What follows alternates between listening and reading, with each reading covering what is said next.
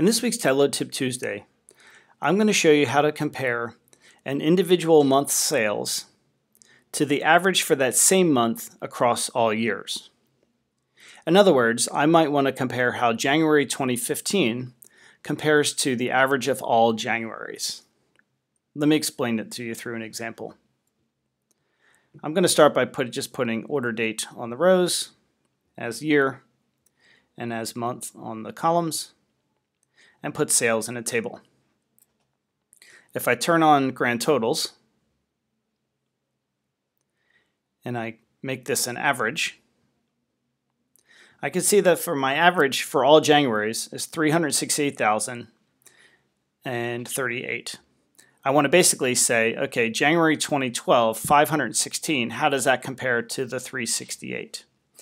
Well, I could do that with table calculations, but if I use table calculations, then it requires that I have the year and the month in the view in order to calculate it. So how can we do this with level of detail expressions? Well, the first thing we need to do is we need to be able to calculate these numbers that are in the grand totals. So how do we go about doing that? So I'm going to first create a calculated field, and I'm just going to call it monthly average sales. And for this, I'm going to start with a uh, level of detail expression.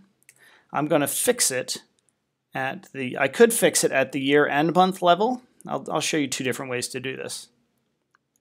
And then I want to take the sum of sales.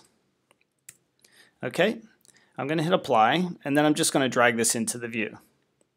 And what you'll see now is I'm getting the same value back. So that's not quite what we're looking for. What I need to actually do then is change this. And what I need to do now is this first part down here is saying for each year and month, return the sum of sales. And that's exactly what Tableau is doing. But now what I need to do is I need to aggregate that up. I need to aggregate these numbers up to the monthly level. So I'm going to fix this one again, whoops, at the month level. And then I want to take the average of these values and close that off. So now we again, you read these from the inside out. So this is saying for each year and month, return the sum of sales. And then for each month, so this would be the date part, so this is the name of the month, give me the average across all of those years. So now let's hit apply, and you'll see we get that same number that matches our average grand total. Great. Well, we can actually simplify this level of detail expression a bit. We actually don't need year in the view. Instead of making this a date part, I can make it a date trunc.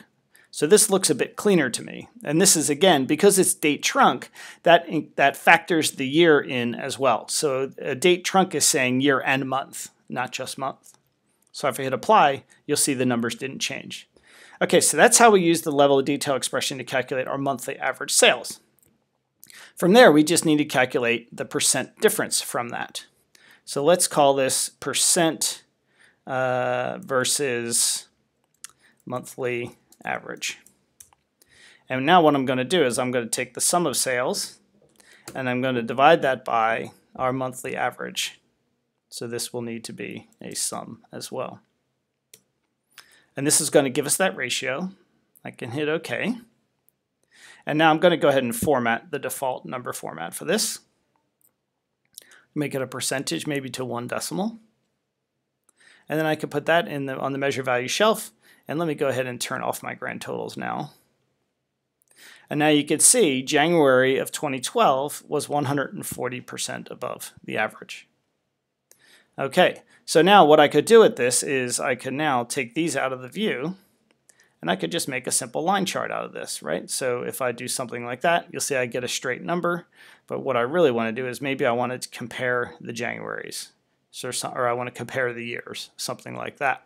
So now we can see for each month, so January 20, uh, so if I highlight 2015 here, and I could even go here and assign those to the palette, you can see January uh, of 2015 was uh, just under 100% compared to all other Januaries. So it might be useful here to have everything versus a 100% um, baseline. So if we wanted to look at the difference from the monthly average, so maybe another way to look at this is the difference from monthly average variance. I can now say 1 minus this value. I'm sorry, now I got the backwards. That minus 1. And let's see what this does now. So, oh, okay, I need to format this one again. Default properties, number format, percentage, one decimal. And now we could see January of 2015 was uh, about 1% or 0.9% lower than the rest of them. So the good thing about this now is if I want to filter my years, so let me just go ahead and show the filter. And let's say I want to look at just 2015. I still get the correct numbers because my level of detail expression is including year in, in, the, uh, in the calculation. So if you did that with table calcs, you wouldn't be able to filter down to the year very easily. It would be much more difficult. So uh, just a real simple example. Again, what we're trying to look at here is how does a single month compare to the average across all months? And let me show you this level of detail expression one more time. And uh, what I, I'll put a comment in here and I'll say something like, we want to calculate uh, I'll, I'll just type it out for each each month and year. Return the sales. So this would be I'm going to put a 1 next to this because this happens first. These work inside out. And then 2 for each month. Calculate the average sales Okay, so maybe this is, let's call that total sales. Okay, so hopefully that makes a bit more sense. Let me spread it out a bit. And there you go. So for each month and year, return the total sales.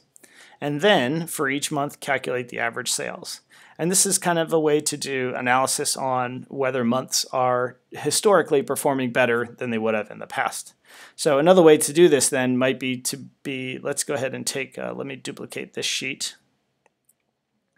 And instead of having year on color, let's take that off and let's change this to continuous months. And now we could see those same two metrics. And you can, uh, so here, if we look at the difference to the monthly average, we can see it across all months and years. So uh, again, a kind of a, a different example there. So maybe this one we look at as a bar chart or something like that. And then we could take this and put that on color. And now we see you know, how many months we're performing above and below the historical average. So just a couple simple examples there for you. Hope you found that useful, and I'll be back soon with another tip. Have a great day.